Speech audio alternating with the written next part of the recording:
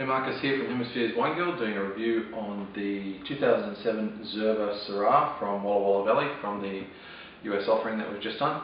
Uh, this is a 100% Syrah. It, uh, it's fairly classic Walla Walla fruit.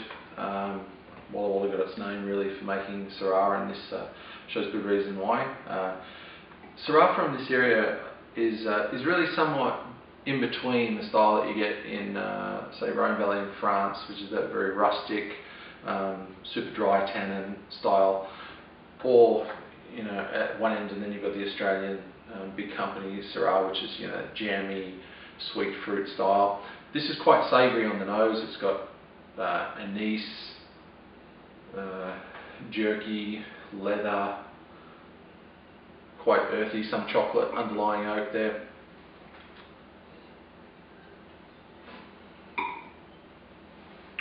But there is some there is some fruit sweetness and uh, um, some of those underlying savoury savoury characters. Um, medium to higher acidity. This one will probably age very well, I'd imagine, uh, maybe for about the next eight years or so. It's a 93 point wine.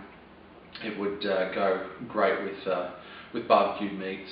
Uh, um, I'd say uh, you know roast roast pork or uh, smoked meats, smoked darker style foods with uh, with gravies, I think would uh, would be an excellent match.